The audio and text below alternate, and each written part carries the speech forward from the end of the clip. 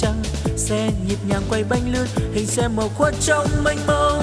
Ta liên lưu một kiếp giang hồ, dù rằng cuộc sống vô bờ tim nồng tràn máu vô tư. À ha ha, suối in hình chiếc xe tàn, đêm nào đập vỡ cây đàn dân đời nào hay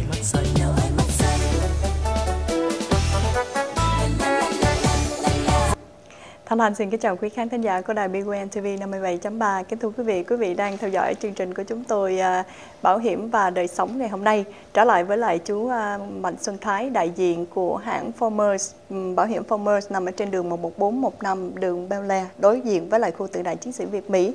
Và số điện thoại của văn phòng chú là 281 530 0577 và bây giờ thì chúng tôi đã có chú Mạnh Xuân Thái ở à, ngồi kế bên Thanh Thanh rồi thì Thanh Thanh xin mời chú gửi lời chào đến khán giả. Thân chào cô Thanh Thanh và kính chào quý vị ờ, khán thính giả của đài BYN TV. Dạ vâng. Dạ. Trước hết thì à, chắc mình cũng phải nói à, xe cộ thì cũng hay nói về thời tiết lắm ngày hôm nay sao chú sau Mà- những ngày tầm tã mưa rơi. Ồ, oh, những ngày tầm tã mưa rơi nhưng mà nó cũng vui vui. Ờ, tôi cũng hay ờ, đi bộ ờ, ờ, sau ờ, giờ làm việc đó. Dạ vâng. Ờ, lần vừa rồi ngày ngày thứ hai mình cũng được đi bộ dưới mưa. Đó. cũng Đi nhớ chạy lại ra kỷ là- xa xưa. Ờ, tôi chỉ đi lúc mà đang đi mà về gần tới nơi xe mà xe nó làm tầm tã. Wow, mình thấy rằng là lần đầu tiên lâu lâu lâu lâu quá rồi mình mới được đi dưới mưa. Đúng rồi. Coi như là ướt như chuột lột thôi chứ. nhưng mà Dạ. tuy là đi dưới mưa nhưng mà cũng ôm lại những kỷ niệm xa xưa hồi thở nào. Nhưng mà không biết là chú đi bên cạnh có người ấy đi kế bên có hay là chỉ một có mình chứ. ta? Có chứ hai người cùng đi dưới wow mưa vậy mà. là quá lãng mạn. Nhưng mà thanh thanh Dạ. cảm thấy là sau khi mà Ừ. mưa đó nó lại càng nóng nữa chú. Không có. Mấy hôm đó trời có mát. Dạ vâng. Thì ờ, bây giờ được cái nhiệt độ nó cũng ờ, giảm đi có cái ờ, low pressure nó ở trên vùng của mình. dạ Dạ vâng. à, nhưng mà chờ tới tới coi tới cái đầu tuần sau trở đi lúc đó mình sẽ thấy nóng cái đó nó nóng nhiều lắm. Chú là nhiều khi thanh thanh cũng ngồi rảnh rỗi hay tự hỏi lắm.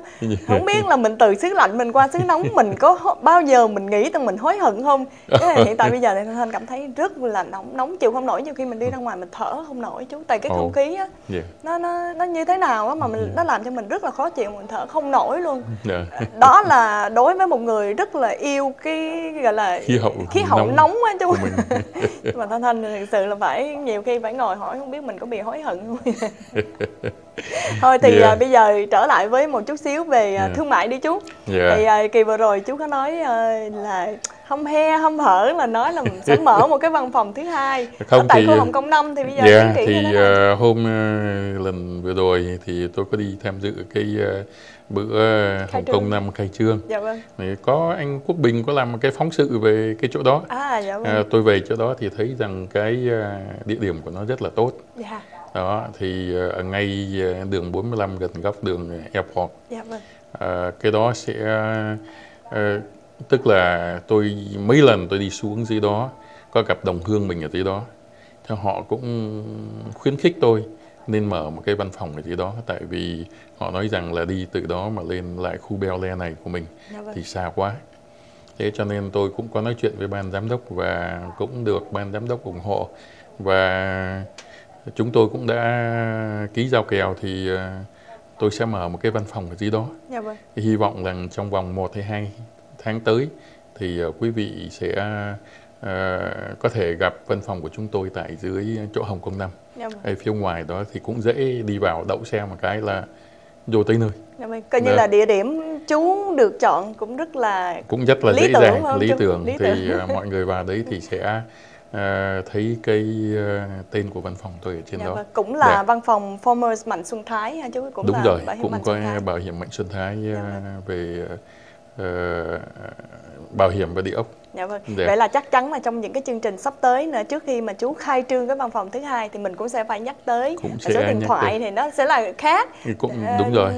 Nhưng mà tuy nhiên nếu mà quý vị vẫn còn giữ cái số điện thoại cũ mà quý Dạ. vị ở dưới khu 45 thì cũng thì có thể vẫn gọi có thể gọi thăm. đúng rồi Dạ vâng. thì cũng sẽ được chuyển về ờ, dưới văn phòng dưới đó Dạ. Phải nói là Thanh Thanh rất là cảm ơn chú và đại diện cho quý vị những người cư dân ở tại người Việt chúng ta ở tại khu 45 à, rất là cảm ơn chú bởi vì những người à, mà người Việt mà ở dưới khu 45 mỗi lần mà nghĩ tới đi 59 thì rất là xa Dạ. à, cho nên là bây giờ hiện tại bây giờ thanh thanh thấy hình như giờ bắt đầu phát triển về cái khúc 45 sao của mình nhiều rồi thì cho nên Dạ. đó là những cái gì đó đối với thanh thanh đó là cái tin vui rất Dạ. là vui Dạ. dù rằng không biết là cơ sở thương mại nào như thế nào nhưng mà à, mình có người đồng hương của mình ở ngay tại cái khu gần mình ở thì lúc nào nó cũng tiện lợi hơn phải không chú Đúng rồi. những cái dịch vụ Với lại tôi thấy rằng cái vị trí này của Hồng Kông 5 rất là tốt. Dạ vâng, Ờ, rất dễ đi vào, nó nằm ngay trên 45. đúng rồi Ờ, với cái bảng hiệu to thì cũng mọi người cũng sẽ nhìn thấy. dạ vâng Ờ, dễ dàng để mà vào đấy và không phải chỉ là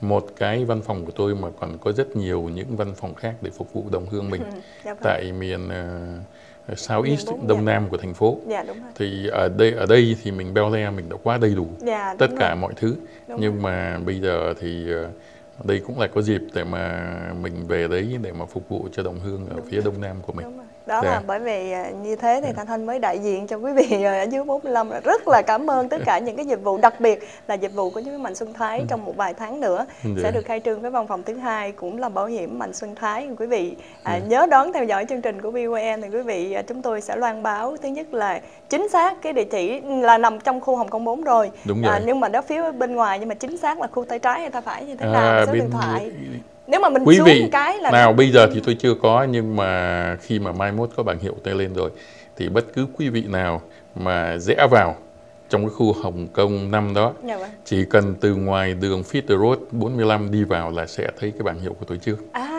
dạ vâng ngay trước mặt rồi rất dễ rất dễ tìm kiếm thấy Dạ vâng. Dạ. Thanh Thanh nghĩ là quý vị cứ yên tâm bởi vì hãng Farmers là một cái công ty hãng bảo hiểm rất là lớn mà nhiều người biết đến cho nên là Dạ. khi mà họ muốn mình một mở một cái văn phòng thứ hai đó là Thanh Thanh nghĩ thôi Dạ. thì họ cũng có những cái yêu cầu những cái đòi hỏi của họ là văn phòng họ phải như thế nào Đúng phải không chú chứ không Đúng thể rồi. nào mà nằm ở trong một cái khu nhỏ xíu một Dạ. cái nó chật hẹp quá Đúng bởi vì cái đó là những cái mà họ đòi hỏi nếu của mà các cái của, dạ, của các, hãng lớn các- á. đúng rồi. Dạ vâng. Là các cái agent phải à, mở một cái văn phòng như thế nào. Dạ vâng. Thì lúc Đúng đó và có họ. điều kiện thì lúc đó họ mới đồng ý. Dạ. Dạ. coi như là mấy Ok. anh lớn là mấy anh cũng chảnh. Thì uh, Farmer cũng là một cái hãng à, thuộc loại lớn Đúng ở bên này đúng, đúng rồi. mà Thanh Thanh hay là Quý Đồng Hương nếu mà đi à, trong phố này thì cũng sẽ thấy là văn phòng của Farmer có rất nhiều dạ vâng. ở khắp mọi nơi. Dạ vâng. Thì đấy không phải là một cái hãng nhỏ. Và nếu mà quý vị nào đã từng là thân chủ của Farmers và đã có những dịp để mà tôi không nói là dịp may nhưng mà nếu mà có những cái à, bị một cái chuyện gì không may mắn mà cần phải tới bảo hiểm bồi thường thì Farmer cũng đã chứng tỏ trong quá khứ là đã đền rất là xứng đáng Dạ và vâng. rất là dễ dàng cho quý vị chứ không phải giống như là nhiều những hãng khác những hãng nhỏ khác Dạ thì vâng. rất là khó khăn dạ. Cho nên Thanh Thanh cái đó thì Thanh Thanh cảm thấy đồng ý với chú Mạnh Xuân Thái bởi vì cũng là một trong những thân chủ của hãng Farmer rất là lâu rồi à, ngay cả xe hoặc là bảo hiểm nhất là bảo hiểm nhà nữa chú Dạ. thì đa số thì Thanh Thanh à, ờ, với chúng ta là người người dùng những cái bảo hiểm thì chúng ta phải có quyền đi gọi là cái gì đi đi shop around đó tức Đúng là rồi. phải đi dạo hàng như thế nào Đúng rồi, vòng mình- vòng mình check thì có- Thanh cảm thấy là cái giá của Farmers là cái giá tương đối nhất Dạ, Dạ vâng. à, cái quan trọng nhất là khi mà mình cần đến nó, tức là khi mà có cái chuyện gì xảy tới mà claim của farmer nó đã trả được rất là đầy đủ, rất là thỏa mãn. À, chính ngay tôi đây đã có những cái kinh nghiệm hai lần kinh nghiệm mình không gây ra tai nạn người khác đụng xe mình, người khác đụng đít xe mình. Mà mình gọi sang bên kia thì là cái hãng lớn chứ không phải không State Farm.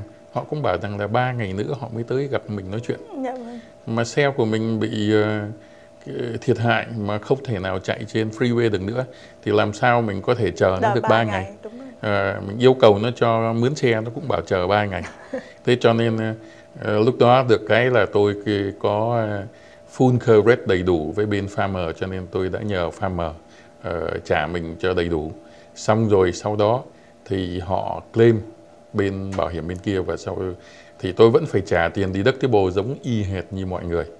Sau một tháng thì ờ, farmer đã trả gửi trả lại cho tôi cái tiền đi đất bồ tức là mình không có lỗi gì cả. À, và bên kia họ đầy họ phải trả đầy đủ hết tất cả các thứ và farmer đã nhận được và farmer trả lại cho tôi đấy là hãng lớn. À, gặp có lần gặp một cái hãng claim của một cái hãng bảo hiểm nhỏ.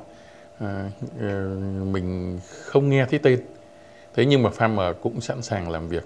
Và sau 4 tháng thì farmer cũng gửi trả lại cho tôi cái tiền deductible. À, nghĩ lại nếu mà tôi là người claim cái hãng bảo hiểm nhỏ tôi không biết được rằng là 4 tháng mình đã lấy được tiền chưa. Farmer nó đã có đại diện của nó để mà đòi bên kia. 4 tháng họ mới lấy lại được tiền và trả lại tiền deductible cho tôi. Thì cái đó cũng là may mắn là bởi vì tôi không phải lo gì cả. Và farmer đã đòi cho mình được tiền deductible đầy đủ. Tức là mình không có lỗi gì cả và farmer cũng không có tăng cái tiền của mình đâu. Kính thưa quý vị. Đúng rồi. À, như chúng ta thường hay nói là tiền nào thì của đó hay chứ Yeah. ha? Yeah. nhưng mà đối với thanh thanh thì thấy bảo hiểm à, cũng giống như mình mua bảo hiểm cũng vậy cũng là Ừ. tiền nào của đó nếu mà mình trả mỗi hàng tháng mình lựa một cái à, plan mình Yeah. trả cho đúng cái giá của họ đưa ra thì tới lúc mà không may mình có chuyện gì xảy ra thì họ cũng sẽ bồi thường lại một cái giá rất là thích đáng Yeah. à, mình cảm thấy là mình không có bị bị lỗ mà chứ mình bị dụ khỉ không thì họ trả rất là và họ service rất là đúng Dạ. đúng như cái lời hứa của họ đúng rồi cái đó là cái điều quan trọng chính mà tôi thấy à, bình thường thì mình không có gì cả nhưng mà tới cái lúc mà có chuyện thì mình mới thấy rằng cái sự service cái điều claim mà họ phải uh, giúp đỡ mình phải uh, trả cho những cái sự thiệt hại của mình thì cái đó đối với tôi farmer đã làm đầy đủ bổn phận và farmer đã uh, giữ cái lòng tin của tôi và tôi biết rằng uh, có thể thì nó hơi đắt hơn những cái hãng nhỏ nhỏ khác nhưng mà với cái service như thế thì tôi cũng sẵn sàng để mà ở lại với farmer Thế nhưng mà cũng còn tùy theo quý vị. Quý vị nghĩ thế nào? Có rất nhiều quý vị à, đã thấy rằng đắt. Nhưng mà sau những kinh nghiệm, claim với những hãng nhỏ hay là những hãng online, thấy rằng mình gọi phone để mà claim, rồi mình không có thể gặp ai được, mình cứ ngồi mình chờ phone đây là có những một số người đã mua online giá rất là rẻ. Dạ vâng. Nhưng mà sau những cái kinh nghiệm như vậy thì họ lại trở về với văn phòng của tôi. Dạ vâng. Thì lúc đó là tôi lại giúp đỡ trở lại. Dạ không vâng. có gì cả. Đúng vậy. À, Thanh Thanh, à, kính thưa quý vị là bây giờ thì chắc phải tạm ngừng cái chương trình phần 1 của Bảo hiểm và đời sống cùng với lại chú Mạnh Xuân Thái, đại diện của công ty của hãng bảo hiểm Farmers Insurance để mà bắt đầu chúng ta bước qua phần 2. Và kính thưa quý vị, như à, thường lệ phần 2 thì à, Thanh Thanh cùng với lại chú Mạnh Xuân Thái rất mong là quý vị sẽ gọi vào với số điện thoại là 713 429 4046 713 429 4046 để mà quý vị có thể gọi trực tiếp vào trong phòng thu âm của chúng tôi ngày hôm nay. Hiện tại bây giờ quý vị có thể đặt bất cứ câu hỏi nào liên quan về bảo hiểm à, hay liên quan tất cả về mọi bảo hiểm, bảo hiểm xe, bảo hiểm nhà, bảo hiểm thương mại, bảo hiểm công ty hay là bảo hiểm nhân thọ à, và đặt bất cứ câu hỏi nào mà quý vị đang có thắc mắc. Và bây giờ thì à, trong khi chờ đợi quý vị thì Thanh Thanh sẽ hỏi chú Mạnh Xuân Thái một cái câu hỏi này Dạ. từ một người bạn rất là thân thiết của chú Mạnh Xuân Thái. bạn thân ồ lạ quá vậy Đúng rồi, tại bởi vì Thanh Thanh nghĩ là nhiều khi luật sư và công ty bảo hiểm thì hai người à, gọi là tuy xa mà gần, tuy gần mà xa. Dù rằng không có phải là cùng chung một ngành nhưng mà là cũng là bạn bè với nhau bởi vì có cái sự liên hệ liên kết rất là chặt chẽ quý vị. Dạ. Thanh Thanh hồi à, tối hôm qua thì tình cờ có xem cái chương trình của luật sư um, David Vương đó. Ồ. Thì à, luật sư David Vương có hỏi một câu hỏi này thì sẵn ngày hôm nay Thanh Thanh sực nhớ là à, ngày hôm nay Thanh Thanh sẽ phỏng vấn chú Mạnh Xuân Thái. Thì hỏi chú Mạnh Xuân Thái là câu hỏi của luật sư David Vương là nếu mà bảo hiểm họ lên Dạ. vì cái người đó có lỗi đúng rồi. họ bồi thường xong bảo hiểm lên thì bao lâu thì bảo hiểm nó mới trở lại với cái giá như trước khi mà họ lên? Đúng rồi khi mà mình một người nào đó đã gây ra một cái tai nạn tức là đã làm lỗi dạ. thì bảo hiểm họ sẽ phải đền cho cái lỗi lầm mà người đó đã gây ra. gây ra đúng không? Sẽ phải đền cho người bên kia. Dạ vâng. Và sẽ phải đền cho chính cái người mà gây ra lỗi lầm nếu mà bị thiệt hại nếu mà bị thương nếu mà cái xe bị hư tức là thân chủ của họ luôn thân hả? chủ của họ tức là đền rất là đầy đủ dạ vâng Ờ. Nào, cái số tiền đó nhiều khi ờ, nó rất là to. Thì không phải rằng là farmer chỉ có lấy tiền của người đó trả cho người đó, mà là lấy tiền của tất cả mọi người. Ờ, hộ, bảo hiểm là gì? Bảo hiểm là hộ tương với nhau. Tất cả mọi người cùng chung nhau vào để mà chịu đựng cho một cái người mà không may đã gây ra tai nạn. Thấy không? Nhưng mà sau khi gây ra tai nạn rồi thì cái người mà gây ra tai nạn thì họ bị tính là hai điểm xấu. Dạ vâng. Thì cái tai nạn đó sẽ ờ, được chia đều cho tất cả mọi người cùng cùng để trả. Và cái người gây ra tai nạn bị hai điểm xấu thì sẽ bị điểm phạt. Điểm phạt đó là 3 năm. 3 năm 3 tháng là đúng hơn tức là 39 tháng. Dạ vâng. Thì nhưng chẳng hạn nếu mà có những cái tai nạn lớn mà hãng bảo hiểm phải bồi thường năm sáu chục ngàn. Mà nhất là mấy anh à, mấy ông luật sư Dạ hay vâng. đòi nhiều. Thì à, dĩ nhiên khi mà đòi nhiều thì phải trả nhiều. Dạ vâng. Trả nhiều xong rồi thì ờ, các hãng bảo hiểm mà bị trả nhiều quá qua cái số tiền mà mức ấn định của người ta có thể được lấy là bao nhiêu. Thì ờ, hãng bảo hiểm có quyền xin với chính phủ để mà tăng tiền bảo hiểm lên cho tất cả mọi người à. Cái đó là cái lý do. Hãng bảo hiểm chỉ là một cái hãng làm quản lý đứng ra quản lý mọi việc để mà chia đồng đều những cái số tiền mà bị thiệt hại cho những người ờ, bị thiệt hại mà thôi. Dạ thế vâng còn sau đó thì họ sẽ phải ờ, xin chính phủ cho phép để mà được tăng tiền. Ờ, tôi không rõ bên ờ, bảo hiểm những cái bảo hiểm farmer thường thì bao nhiêu nhưng mà quý vị nào đã là thân chủ của tôi của cái bảo hiểm uh, Aetna hay là bảo hiểm về sức khỏe gì đó thì MedLife MedLife Dạ vâng. thì trong những ờ, năm vừa rồi ờ, mấy hãng đó họ không trả đủ tiền cái số tiền là chính phủ cho phép Dạ. là chỉ được ăn 20% thôi thì trong những năm kia thì phải thì họ chỉ mới trả có 71% à dạ vâng cho nên 71% thì họ trả dưới cái mức 80%. Cho nên sau cái năm đó thì qua năm sau những người nào mua bảo hiểm của hãng à, hãng đó thì sẽ được à, bồi hoàn lại, được refund lại là 9% cái số tiền đó. dạ vâng Đó. Thì nếu trả ít thì hãng bảo hiểm phải trả lại cho thân chủ. Dạ. Nếu mà trả nhiều thì hãng bảo hiểm có quyền xin chính phủ cho phép tăng tiền À. để mà lấy lại dạ vâng thì các hãng bảo hiểm xe thường thường họ trả rất là ờ, rất là tốt thì như vậy bởi vì trả ít thì bị complain. Dạ vâng. Thì cho nên bao giờ cũng trả tốt trả tốt thì trả nhiều quá thì lúc đó lại phải xin với chính phủ cho phép tăng. Dạ và vâng chính phủ cho phép tăng chứ không phải không. Nếu mà tăng như vậy là tăng hết mọi người lên mọi đúng tất rồi. cả mọi người tất cả mọi người bị tăng. Dạ vâng. Thế còn cái người gây ra tai nạn thì bị điểm phạt. Dạ vâng. Và tăng cho 3 năm. À dạ vâng. Sau 3 năm thì lúc đó lại thôi bỏ cái điểm phạt đó ra lại giống như mọi người chứ không phải là trở về 3 năm về trước à là Thanh Thanh phải hiểu rằng cái thị trường của theo cái thị năm trường sau. của của của ba năm sau Dạ đúng vâng. rồi là bởi vì cái gì cũng vậy nó nó theo cái thị trường mới dạ vâng. của của, của những năm mới đó. Dạ vâng. Nhưng mà cái điểm xấu được lấy ra. Dạ vâng. Đó thì đấy là cái ờ, cái cái cho nên tôi có nói với ờ, thân chủ của tôi cũng giống như tất cả những khách hàng của tôi biết nếu mà mình chỉ có bị đụng chạm nhẹ, Nhẹ. sơ sơ thì nên thanh toán với nhau. Dạ vâng bởi vì mình thanh toán với nhau đó thì ờ, như chẳng hạn ờ, ờ, một khách hàng nào bị ờ, đụng xe mà đụng xe người khác mà chỉ thiệt hại có độ hai ba trăm dạ vâng. thì nên thanh toán với bên người bên kia cho nó xong đi. Tự giải Và quyết lấy. hả? tự giải quyết lấy mình yêu cầu người kia ký cho một cái tờ giấy nói là không lên mình nữa. Dạ vâng. Cả về thiệt hại lẫn sức khỏe rồi sau đó mình trả tiền cho người ta. Dạ vâng.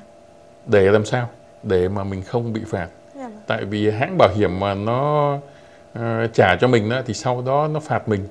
Phạt mình cho 3 năm thì cái số tiền cũng vào khoảng từ 2 cho đến 4 ngàn. Thấy không? Mình trả dưới 1 ngàn đồng mình trả cho nó xong đi mình không bị phạt gì cả. Trong khi ờ, nếu mà mình để cho hãng bảo hiểm ờ, đền thì họ sẽ chia ra làm 6 lần rồi mỗi lần tăng lên độ ờ, 500 600 thì có phải là tăng lên nhiều không đó thì đấy là cái điều mà tôi muốn nói. Khi nào mình cần đến bảo hiểm là khi nào mình bị một cái gì quá nặng thì mình nên claim bảo hiểm mình không chịu đựng nổi. Còn nếu mà nó chỉ là nhẹ sơ sơ thì mình nên thanh toán với nhau. Dạ vâng. để mà à, hãng bảo hiểm không có lý do mình cho cái điểm phạt giấu vào để mà tăng nhiều tiền dạ vâng đó Vâng, thì là chắc có lẽ là cái câu trả lời của chú Mạnh Xuân Thái rất là rõ ràng để gửi đến cho Dạ. luật sư Đê Vương. Hy vọng là luật sư Đê Vương cũng đang xem hoặc là nếu hôm nay xem không được thì ngày hôm ngày mai à, chúng tôi cũng sẽ phát lại vào cái lúc khoảng à, 11 giờ 45 cỡ đó. Dạ. À, 11 giờ rưỡi sau 11 giờ rưỡi này chương trình à, của chú Mạnh Xuân Thái sẽ phát trở lại.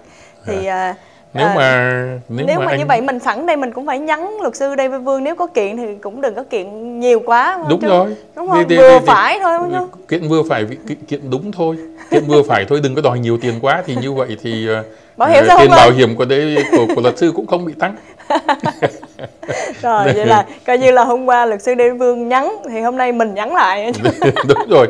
Cái gì cũng vậy thì mình làm vừa cho nó đúng thôi. Đúng rồi. cái đó là cái ờ, tốt nhất đúng Dạ. rồi. Coi như nướng nướng Kẹp nướng lắm. tay một chút xíu. Kẹt lắm thì mới dùng đến bảo hiểm. Dạ vâng. Dạ. kẹt lắm thì mới dùng tới luật sư. Đúng rồi, rồi. rồi còn nếu mình thường thường tôi thường này tôi đâu có nhờ ông ừ, David làm cái gì đúng không? Nếu mà kẹt lắm tôi có cái chuyện gì đụng tới luật pháp thì chắc có lẽ cũng phải nhờ tới luật sư. Nhưng mà nếu mà mình không nhờ luật sư thì lúc đó thì luật sư lại bị kẹt thì ờ, dạ vâng thì đấy là cái cái lý do mà có rất nhiều người đã đến hỏi với chúng tôi. Mà thiệt tình thì trong mấy năm vừa rồi quý vị cũng thấy rằng là bảo hiểm nhà nó tăng lên rất nhiều kính thưa quý vị. À, thiệt tình ra trong hai ba năm nay là bảo hiểm nhà của tất cả các hãng đều bị thiệt hại hết. Là bởi vì sao? Bởi vì thiên tai đã xảy ra quá nhiều. À, quý vị đã thấy đó từ năm 83 cho đến năm 2008 mới có một lần hurricane nó chạy vào năm 1983 dạ vâng. Rồi tới năm 2008 nó mới vào lần nữa. Dạ vâng. Đấy là 25 năm. Dạ vâng. rồi từ năm 2008 cho đến bây giờ đã có ba cái hurricane liên tiếp đã vào vùng Houston của chúng Dạ ta. vâng. thì với cái ờ, sự thay đổi nhiệt độ khí hậu nó lên nhiều và quý vị cũng thấy rằng ngay cuối mùa bão năm ngoái à, một cơn bão Hurricane Sandy đã đánh vào à, vùng New York đã thiệt hại rất nhiều. Rồi à, chỉ có từ năm tháng trước thôi quý vị cũng thấy rằng chỉ có 20 phút tornado nó đánh vào vùng Oklahoma mà thiệt hại. Quý vị thấy rằng cũng không khác gì chiến tranh à, của ở nước ta trong mấy chục năm về trước. Dạ vâng. 20 phút cơn tornado nó đánh ở phía nam của thành phố Oklahoma. Quý vị nhìn thấy nó rất Điêu tiêu điều tàn. không còn cái gì cả. Dạ vâng hai đúng khu rồi. trường học bị đánh không biết là mấy trăm căn nhà bị đánh vào. Người chết ở đấy nữa. Rồi qua ngay ngày hôm sau tornado lại đánh vào cũng cái vùng đó nữa hai người chết thêm. Dạ vâng. đó.